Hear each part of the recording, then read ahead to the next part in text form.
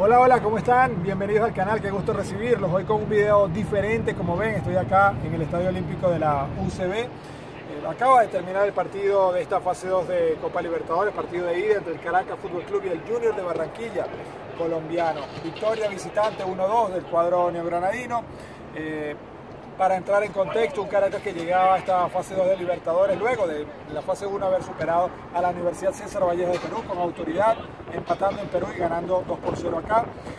Y le tocaba enfrentar un rival mucho más fuerte, el Junior, que hace menos de dos años fue campeón de Colombia con jugadores importantes, jugadores de cartel, de nivel, preparados no solo para entrar en la Copa Libertadores, sino incluso para competir en ella y llegar a rondas avanzadas. Es el rival que le ha tocado el Caracas y al cual tuvo que enfrentar hoy y que le plantó cara, porque el Caracas comenzó un partido eh, desde el principio muy igualado, muy igualado, los primeros 20, 25 minutos muy igualado, pero a partir de allí se fue inclinando un poco hacia el cuadro visitante, que sí, es verdad, tuvo eh, un par de ocasiones donde Baker Velázquez respondió muy bien al portero del Caracas, y aún así, en el mejor momento del cuadro colombiano, el Caracas logró adelantarse con un tanto de eh, Samson Aquinyola, el delantero de Benín, que es uno de los africanos que se ha sumado a la plantilla este año. Se estrenaba el primer gol para él con la camiseta del Caracas, ponía las cosas 1-0 y así nos íbamos al descanso. Muy buen resultado para el, Caracas en un primer tiempo, como decía, igualado, pero inclinándose un poquito incluso más al,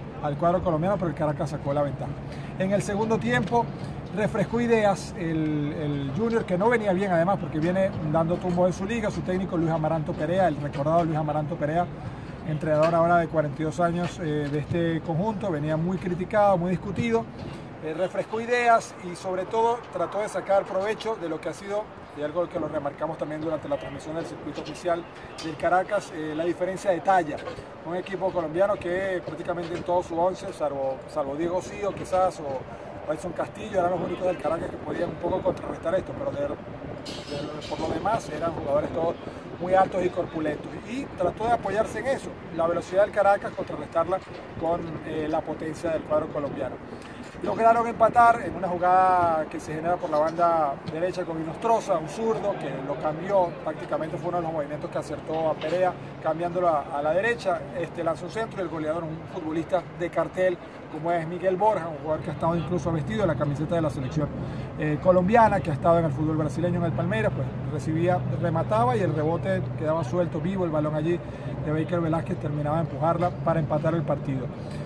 El resultado del 1 a 1, un gol de visitante encajado, no era del todo malo para ir a perderlo Marraquilla. Sin embargo, eh, en el minuto 90 ya estaban indicando los 4 minutos de añadido, un córner, y allí sí se puso en evidencia lo que no habían podido hacer en todos los 90 minutos. Marcar la talla, en los, eh, sacar ventaja de esa, de esa estatura en las pelotas paradas. Y justamente en ese córner, Dita, uno de los centrales, supera el 1.90, saca un cabezazo muy potente al ángulo superior izquierda Baker Velázquez que nada pudo hacer y ese certificaba el 1-2 con la victoria con la que se va eh, Junior de acá y en la que en una semana el Caracas tendrá que buscar revertir en el Estadio Metropolitano de Barranquilla. Un Caracas valiente, un Caracas que con poca experiencia, porque muchos de sus jugadores no, no tienen minutos o muy pocos minutos en competición internacional, pues sabe plantarle cara a un grande como es el Junior de Barranquilla. La eliminatoria está abierta, es un, marcador inicial difícil para irlo a buscar allá, pero este Caracas ya ha demostrado que tiene con qué. Y he querido grabarles este video para el canal desde acá, en caliente, para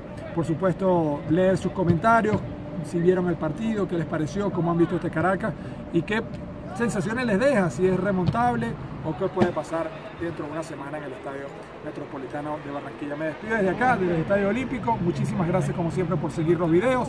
Si les gustó, pues sí, compártanlo, súmense al canal, cada vez somos más y los, recibiremos con los brazos abiertos cuando se suscriban. Y bueno, vamos a seguir repasando la actualidad de nuestros equipos, de nuestro balompié, los temas de interés del fútbol, como siempre lo hacemos. Hasta la próxima, chao.